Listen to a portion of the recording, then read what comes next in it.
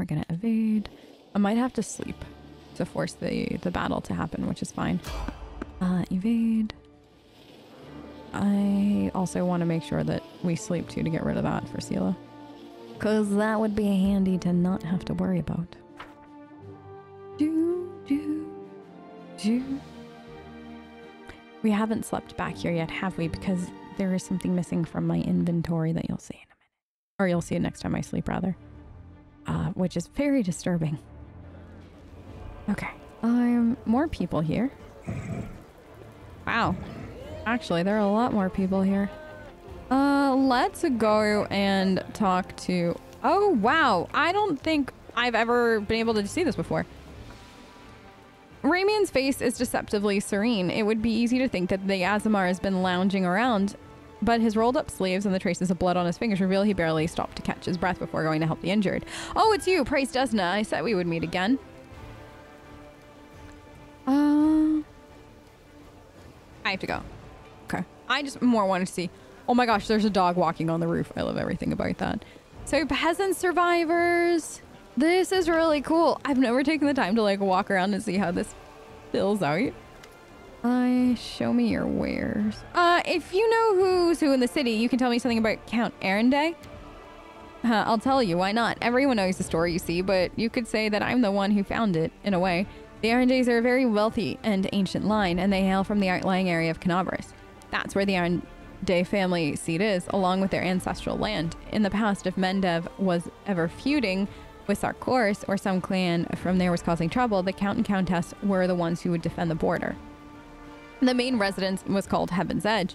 It still stands to this day north of here on the road towards Drezen, but no one lives there now. Around 10 or so years ago, there was a grand celebration held at the estate. The mother and the guardian of the current count invited the great and the good to celebrate his birthday. The entire Arendae clan was there, as well as many other nobles, and then without warning, the demon struck. Clearly, they couldn't ignore such a perfect opportunity to cut down so many of Mendev's great dynasties in one fell swoop. There was even a chance that the queen herself would make an appearance, for she was related to the count as well. Well, when no news came from the estate, a troop of inquisitors was sent to investigate. They forced open the gate to discover the manor full of corpses. They all perished. The servants, the guards, the guests, including some of Iomedae's chosen clerics and paladins. The demons had unleashed a magical plague, terrifying and strange, the likes of which hadn't been seen before or since. And among all of this was young Daeran Arendae, the only survivor. And the Count had a talent for divine magic since his youth, healing magic in particular, and that must be why he didn't die along with the rest. He couldn't explain how he survived the disease, I saw him that day when they brought him into the city, pale and barely conscious of his surroundings. So that's the story. Since then, Heaven's Edge has stood abandoned and sealed off to the world. People are still afraid to go near the place. Huh. That's interesting. I've actually never talked to him about Baron before. That was something. Okay, let's get rid of this and this and this. I know I don't have anybody that can use this. Um, that might be better for Lann. Can I... I don't... Can I just... I just want one. Okay. Um. I I really do like it though. That like if you just talk to random people, sometimes you'll hear things that you're never gonna know any other way. And this is definitely one of those things. Okay. The quest to be filthy rich has begun. That will no. Scrawny tiefling. Energetic tiefling. Any of them... Ah, Look who it is! The tiefling raises a hand in greeting. Who would have thought I'd end up in the Crusades? Go figure. Did Irabeth accept you? With open arms, she knows exactly who I am and where I'm from, but she's come down with a convenient case of amnesia where I'm concerned. Who can blame her? The city's in a bad way. You don't turn down help in a situation like this no matter what quarter it comes from. Wow, that's really cool, actually. okay. Um, wait. Kian, where are you? Oh, there you are. He seems remarkably at ease. His face is untroubled, as if life and the lives of everyone else in the tavern aren't hanging by a thread. As he reads the dog-eared book and makes notes in the margins, he notices you, looks up from a page, and gives you an amiable nod. Mm, what are you reading? He closes the book and shows you the cover, selected passages from the letters of Saint uh, Lemirin. It's amazing how humble she was. She could have been a high priestess of the Church of Iomedae if she'd wanted. Power was hers for the taking, but clearly it wasn't a temptation for her. Reading these letters, I understand why Iomedae made Lemirin one of her servants after she died. Interesting. I can't believe it's taken me uh, this long Why can't I? This place has been sanctified. Okay, so that's that. I can't believe it's taken me this long to realize that I can basically talk to everybody beforehand, like the different groups I've gathered. I don't know. Okay, there's Seelah, Anevia. Let's talk to Irabeth. Thank you for saving the esteemed citizens of Kenabres. Even though not all of them deserve to be saved, Iomedae may forgive my words. She casts a meaningful look at Count Arendae sitting at a nearby table. I don't really mean that, of course. I just never fail to be astounded by the way the good people seem to perish, while the not so good prove to be incredibly amazingly enduring. Um, what's your problem with Daeran? Is there bad blood between the two of you? Oh no, nothing like that. I think he dislikes all paladins equally, but the real question is, who does he like? Only his hangers-ons, I'd wager. He likes, uh, well, and we'll, we'll talk about that later. The Count has a certain reputation. He's not a pleasant individual by any means, but he's not known for any particular villainy for any particular villainy either. The Count enjoys a life of leisure surrounded by a gaggle of sycophants, who are always eager to badmouth the Queen at his command. He likes setting scores too. Settling scores too. There was a hero of the fifth crus- the first crusade, Sir Lant, a kind and honest man.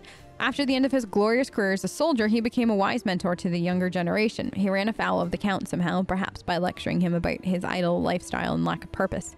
When Sir Lant died, the Count managed to buy a portion of his estate and ordered the knight's helmet to be forged into a chamber pot. Of course, he didn't keep this little joke private. The Queen was particularly affronted by it because Sir Lant used to be her most loyal comrade in arms. I was there receiving an assignment from Her Majesty and witnessed the exact moment she found out about the helmet's fate. It's a small thing, but I could see the Queen's anguish at the travesty that had been made of her friend's legacy. That's what our Count is like as a person. As for his talent for survival, do you know the story of Heaven's Edge? He was the only member of his family to escape with his life while the demons unleashed a magical plague. Um, why was he trying to provoke the queen? Who knows? It could be a family matter. The count is Her Majesty's cousin twice removed or something like that. I think he simply enjoys infuriating people. Crusaders and Iomedae servants especially. Thank you for telling me. My pleasure. I'm sorry you had to endure my grumbling. Watching these things happen to my city has made put me a foul mood. I mean, I get it. Uh, Jana Aldori. Uh, I found her. Thank you. It's good to have her back. We need every fighter we can get. I suppose it's asking too much to want fighters that are sober as well. Um, the Tower of Estrod has been cleared of demons. Great! The places where the demons have gathered need to be cleared one by one. Then they won't be able to stab us in the back when we take Grey Garrison. Thank you for your service. Um,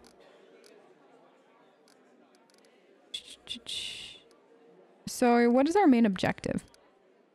You heard what the demon said. They're going to desecrate the ward stone and blow up the whole barrier around the world wound. That would be an even worse disaster than the world wound's expansion before the Second Crusade. Not only Kenabres, but every city with a ward stone will be destroyed, including the capital. You can't allow that no matter what. We'll retake it, even destroy it if we must. Iomedae's gift must not be a weapon of the abyss. Okay. So that's done then. I'm just going to check my journal. So we've got that to do, which can be done at any point. The Burning City. Common Cause. I don't know who else can be recruited. Uh, Stray of Execution. Stolen Moon. Right, that's, well, just, that's got to be done now. And this is a wait. This, I'm not really worried about. Like, we have Nenio. So whenever that happens, that happens kind of thing. Okay let's get some sleep and kind of get the I'm gonna quickly save just in case but first let me quickly dump a whole bunch of things in here. Cause you never know. I don't have a kineticist. That's fine. I'm gonna hold on to that for now. What is this? A yellowed letter that can go in. Wait I'm gonna hold on to this. I don't know why but I feel well I never read it. Uh, wad of crumpled paper visible bite. Carefully pack up all the relics. And may carve out some time away from research to sift through. Well, I wanna I wanna read that, read that. Can I expand it? Info. Should I discover that the potions have mysteriously disappeared, I will not try to look for the culprit. I will punish the person who let it happen, the person who failed to... Punishment will be painful, brutal, and humane. Remember this. So this is... So you can actually get kind of a read on Xanthir before it all happens. Interesting. Okay. I'm gonna I'm gonna try to stay up to date on people's leveling. I'm normally like there's a, a handful of people who never actually get leveled because I don't use them. But I'm gonna try my best this time. I doubt I'm gonna. I, I doubt it's gonna happen. I had a messed up childhood, but ah, sometimes I think back on it fondly. Ah, life was so easy. You were smaller, so it was easier for you to cut purses and get away without being caught. Am I right? Don't tell me. I know I'm right. Wow, Seelah. What if he actually did mean that, though? That's the thing. I. mm. It's fine. It's fine. It's fine.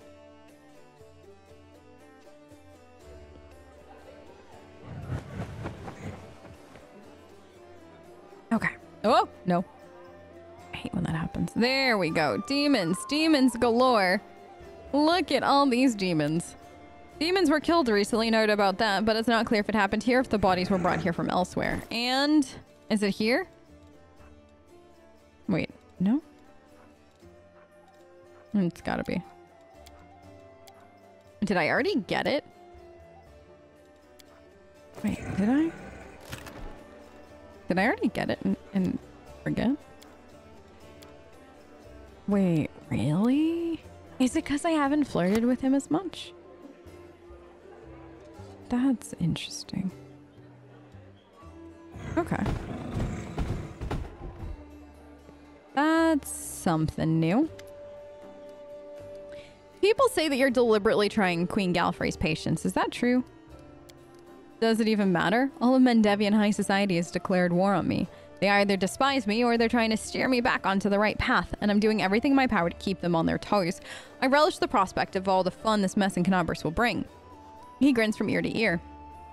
I shall either commission a song about the great Kenabres fiasco from a certain talented bard, or confuse the jewelers with a rather tall order, a batch of silver dragon toys with detachable heads. Give me a week, they'll be in every shop in the capital. You should make sure it's easily to rip off the wings of your dragon trinket as well. Kids are gonna love it. Daeran laughed. So be it. From now on, you are my muse. I'll talk to you later, Daeran. Oh, that's actually really funny. Hey, Woljif, is there anything else you want to talk about? I should really be better at talking to everybody, but there are some that are obviously just going to always be my favorites. Want to talk? Uh, want to know more about you. How much more is more? Uh, your shadow. It looks strange. What kind of magic is that? Ladies and gentlemen, roll up, roll up. No dark magic, no fraud. A trick without any deception. Woljif snaps his fingers and a blue flame engulfs him. The shadow that was previously lying calmly at his feet grows floating in the air above him. It's the shadow of a huge horned winged demon with claws. Ta-da! It doesn't do anything, it just looks scary. I remember when I was little, an old beggar showed me and my friends how to make shadow puppets. Put your fingers together in front of a light. It makes the shadow a, de- a deer or a dog or a dove on the wall. I tried so hard. I wanted to make the best shadow, and I did. It just happened. Woljif chuckle sadly. Funnily enough, that's the last time I had any real friends. They tried to stone me later, screaming at me, calling me a demon. A tiefling is always a demon to these wimps. Even the lowest ranking drunken gnome thinks he's better than me, just because he hasn't gotten horns or a tail. The poorest beggar in the filthiest gutter thinks he's better than me. Most people would never show their shadow again after the first time, but I don't care. If the stones start flying again, I'll just run. I'm used to it. like, this, I hate the good line here. I honestly do. It's it's harmless illusion. But you shouldn't show it to anyone. People hate what they don't understand. That's not Woljif's fault. It's not Woljif's fault that people hate what they don't understand. I do agree that there is a like that that's just common. People either dislike or hate or afraid of what they don't understand because they don't understand it. But Woljif shouldn't change who Woljif is because of that. He's Woljif. He has a shadow, and that's fine.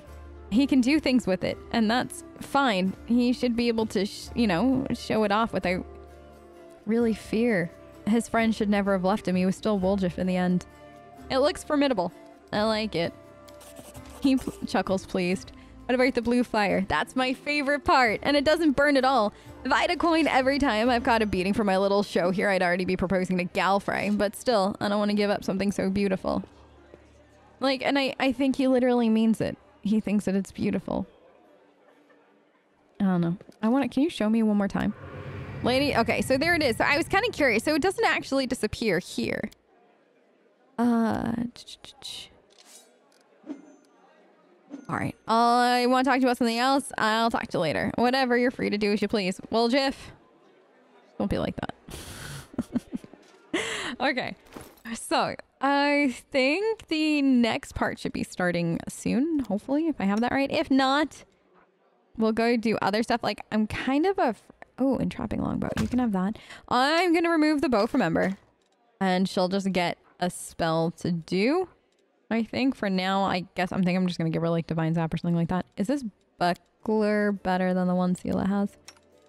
So we're kind of just. I don't want to start the next thing. That has a negative. Never mind. Her current shield is is not bad.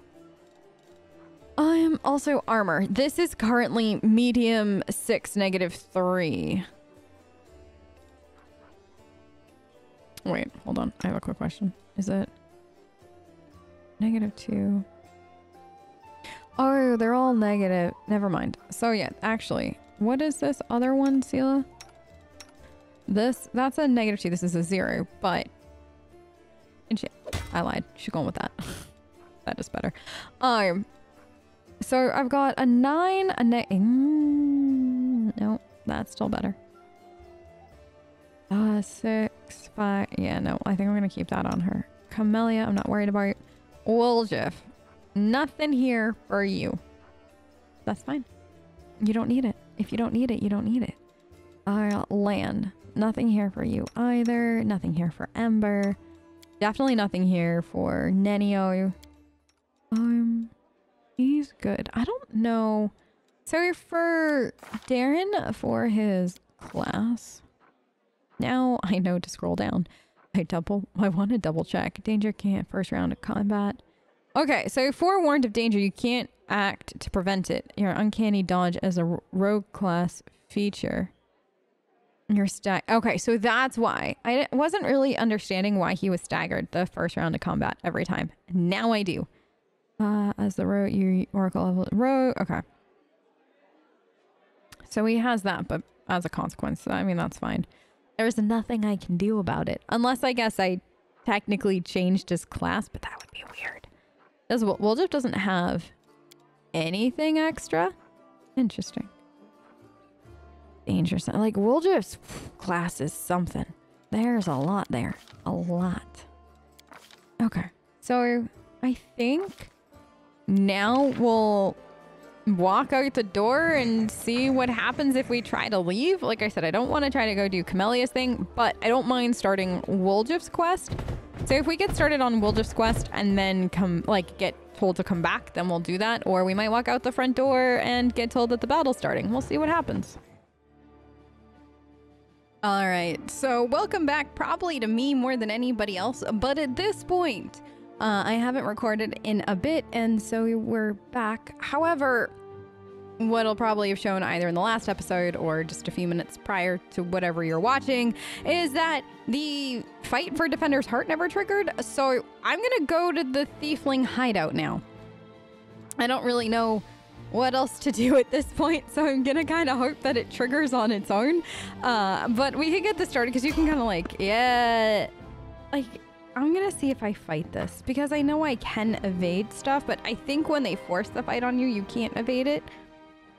Like the Defender's Heart fight, that is. But I, am kind of curious now um, if this is the, the case. I won't let you hurt my friends. So let's let's see what happens and then go from there. I actually haven't played this game in a while. Uh, IRL got really busy, so I haven't had a chance, and I'm very sad about that, which is why I'm super excited to be uh, replaying, or just playing more. So nothing here. Okay. So we'll go this way and keep going, I guess. That was really easy, actually. oh, did I just get one of those? Scro oh, no. See, Scroll of Firebelly. I've never used that. It kind of interests me, though. I'm not going to lie. That is one of those spells that I've never used, but it does, it does, uh, make me curious. Mm -hmm. Yes, I do. I guess the question is, though, like, I, I don't think because we handled the tower, I like get out of that fight, but it almost is feeling like it. That wouldn't make sense because it's still, it's still in um my journal. So we'll see what happens. We're here.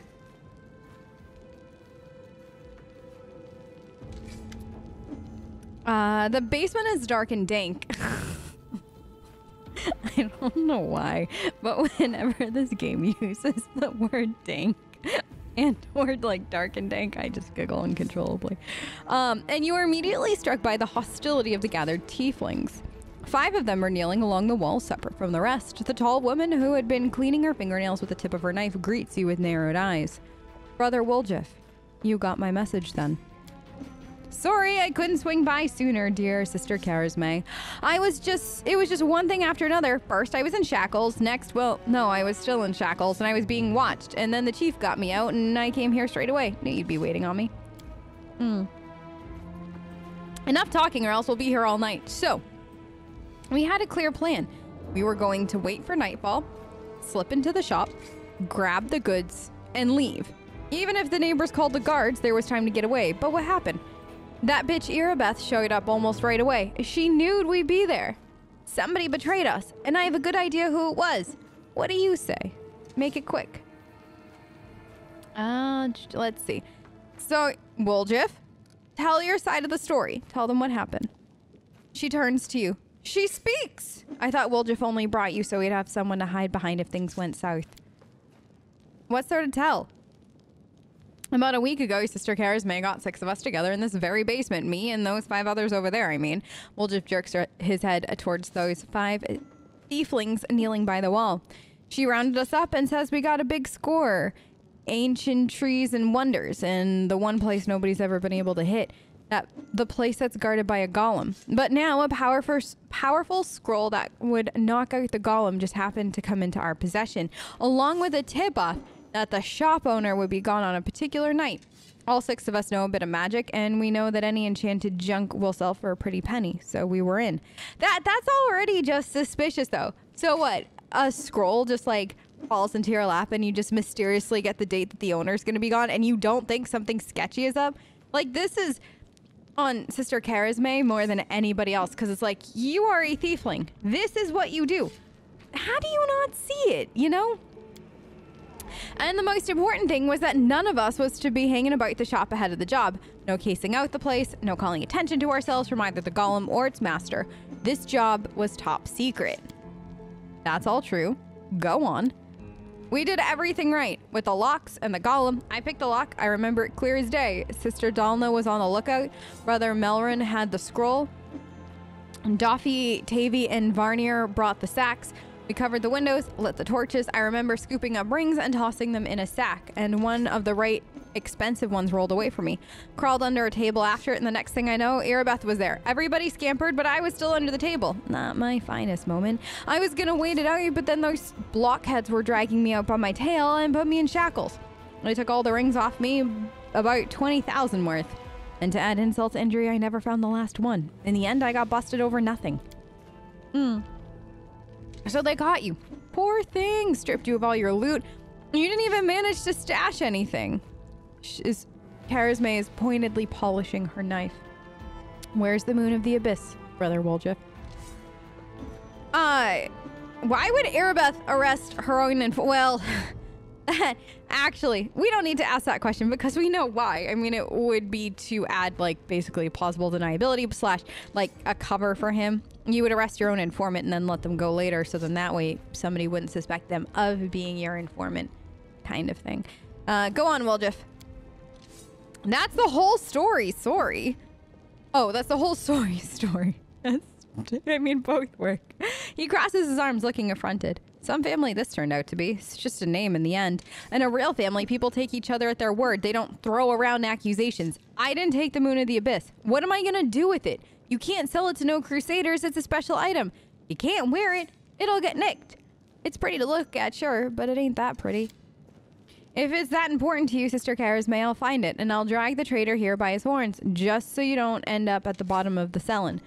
But do you know what you're gonna owe me for that? An apology. Right here, in front of everyone. You're gonna apologize loud and clear so everybody hears it. You'll say, sorry, Woljif, you're a good guy, and I was wrong about you. Fine. You're one of my people, which is why I'm going to give you some time. If you run Brother Woljif, the family will get you wherever you go. You'll spend the rest of your life looking over your shoulder, tossing and turning at night, fearing poison in every cup and every meal. You'll look into the eyes of every tiefling you meet, wondering if the family has come for you. You'll have no peace, but one day you'll be tired of running. You'll stop to catch your breath, and that's when we'll get you. Got it? You've got a way with words. A way that almost made me wet myself, but a way nonetheless. Let's go, Chief. We'll go and chat to that scary gal, Irabeth. She knows you a little. We can ask her who ratted us out. I'll let you do the talking. You got it. You got it, Woljif. Um. Ah, haha. the only time I like lawful. The burden of proof lies on the accuser. Woljif doesn't have to prove anything. In a single fluid motion, she adjusts the grip on her knife so that she's now holding it by the blade as if preparing to throw it. Burden of proof? Are you a city guard or something? I don't know how it is with your lot, but in the family, the highest rank is always right. And here, that's me. Fine. We'll find your. Wait, the city is burning and you're squabbling here instead of fleeing the city? I'd be glad to leave like the rest of my brothers and sisters, but in the family, there's nothing worse than betrayal. And it's something we do not forgive. We don't forgive anyone who lets traitors off the hook either. If I don't find the rat, my superiors, let's just say, I'll wish I was burning in Kenabres. I want to keep living, so I'm going to take a chance until I find out who the traitor is here. No one is leaving. All right, we'll go find him. And I'll get my apology. Onward. Root out the traitor. Be quick about it. Time's running out. I don't want to get chewed up by demons. Fine. I'll go find your coward traitor person. Wasn't Woljif. Ish. All right. Let's go. it wasn't Woljif. Ish. All right. So, wait. Okay, right. I can you I wonder if you can just go back. Um and like basically like if you already know because it just says um deduce the traitor's identity like so find it out but we're gonna we're gonna play this out but i am kind of curious like if i just walked back in could i just say it was this person I think I remember who uh, who done it. We're gonna evade, cause we're like here.